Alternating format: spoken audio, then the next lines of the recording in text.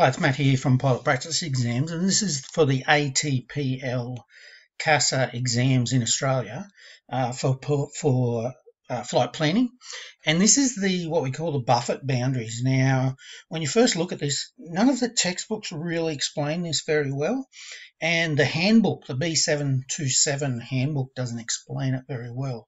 So I thought I'd throw together a quick video just to help people get up to speed very quickly on it and how to apply it. So let's have a quick look at a few of the parts. Obviously you've got pressure altitude up here and along the bottom axis which I've chopped off here you've got indicated airspeed. Now these curved lines represent the weight so 90,000 kilos, 80,000 kilos, 70,000 uh, 60,000 that one there would be 50,000 gross weight and they all curve up and over like that.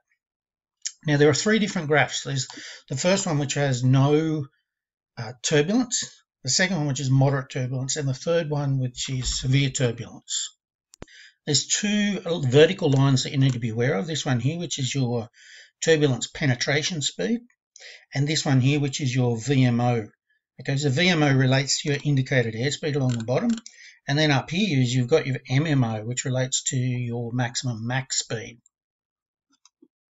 This graph that you're looking at is the moderate turbulence. Now, the primary difference between the three graphs is that these lines here are much, much higher for no, no turbulence, and then they're lower for heavier turbulence. And what I mean by that is, if you look here at, say, 30, a pressure altitude of 30,000 feet, we're right near the curve for 90,000. Whereas, I'm just flicking through the book, whereas on the uh, graph 2.3 on page 211 of the Boeing handbook, the one for no turbulence, the point of this graph is way up past the 35,000 mark. It's right up near the top of our screen here. And so what that effectively means is that the speed, the margin between our high speed uh, buffet and our low speed stick shaker is going to be much bigger when there's no turbulence. And when there's high turbulence, our margin of safety between our high speed and our low speed is going to be much less. Now, what do I mean by that? Well, before we get into the graph, let's just take a quick look at what this graph is actually going to tell us. So after we go in, draw up our data on it, what we're going to find is that we're going to draw something like this. So I've just circled 80,000 there because this is for 70 uh, aircraft at 76,000, right? And so what we do is we draw these lines between the curve. And that is our speed range, our safe speed range between there. Now, don't forget this vertical line. If we're, that's our safe penetration speed for turbulence.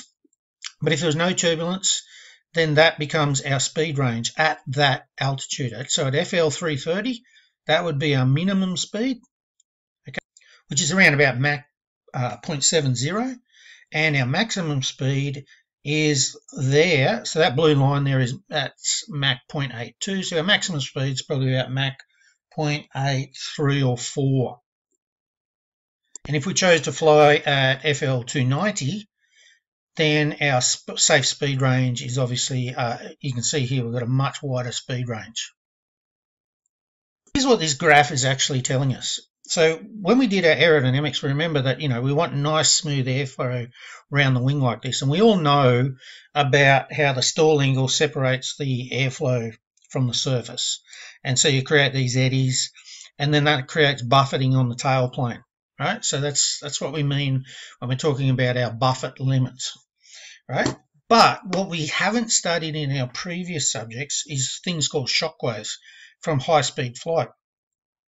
And so when you're going really fast, what happens is this shock wave develops on the top surface of the wing like this. We have a low angle of attack, and this shock wave develops. And behind the shock wave, you get a similar effect to what we get when we have, uh, you know, our angle of attack gets too high and the airflow separates. The shock wave again causes that airflow to separate from the surface behind the shock wave. And the bigger the shock wave, the more uh, of that occurs. And obviously, if we have a shock wave on the wing, then that's going to cause buffeting with our control surfaces back here. And so that causes us to have an unsafe uh, flight envelope or an unsafe ab ability to control the aircraft.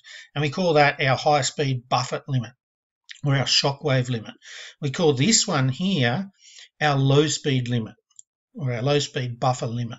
So when we come back up to the graph up here, this is our high speed shockwave limit, this point here, and this here is our low speed buffet limit.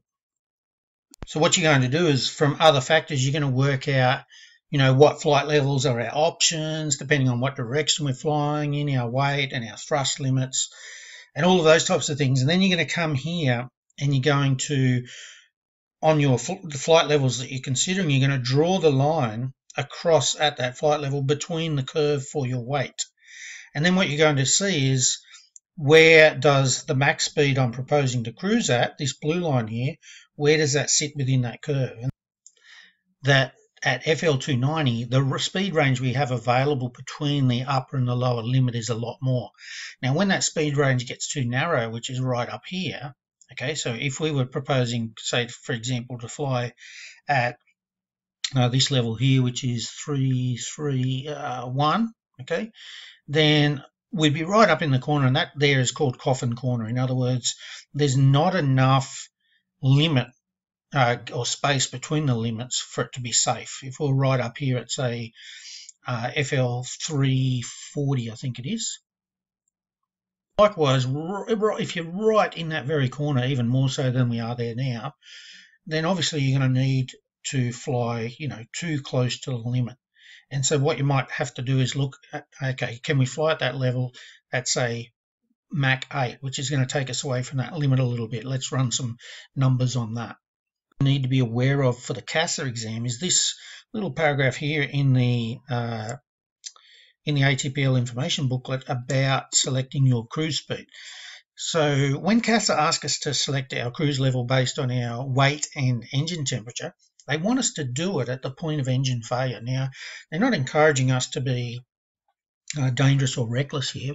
What they want to do is make sure that people don't apply like their own discretionary margin of safety. Because if everybody applied a different discretionary amount, then CASA could never select an answer that everybody will pick.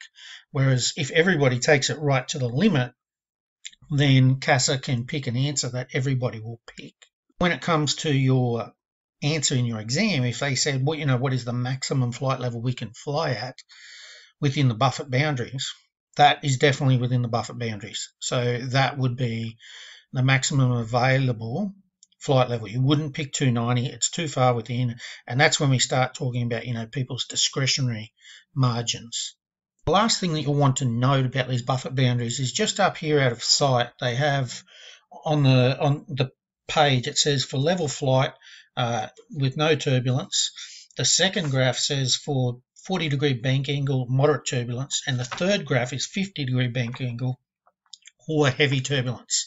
So these aren't just about turbulence, they're also about if you're going to be performing bank turns, then a different Buffet limit applies. And so you would need to make sure that the, the weight and the flight level that you're going to fly at falls safely within those Buffet limits for the maximum bank turns that you're going to have in that portion of the flight. So I'm Matt from pilotpracticeexams.com. Thanks for watching. Don't forget to give us a thumbs up, a like, and if you do like these and you want to see when we put up our latest videos, make sure you hit that big red subscribe button if you're watching this on YouTube. Thanks for watching, guys. Matt from pilotpracticeexams.com.